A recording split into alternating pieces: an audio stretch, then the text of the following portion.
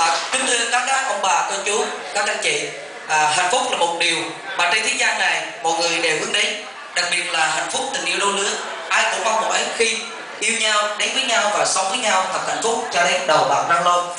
Cách đây 40 năm, ba tôi một nam sinh từ miền Trung đánh gió đã gặp gỡ và kết nhiên cùng mẹ tôi là một nữ sinh tại thành phố Sài Gòn với bao điều